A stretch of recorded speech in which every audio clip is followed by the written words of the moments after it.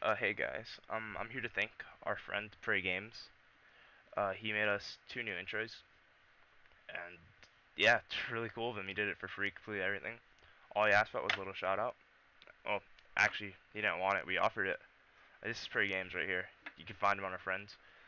He's pretty chill dude. He does makes a lot of intros for other people.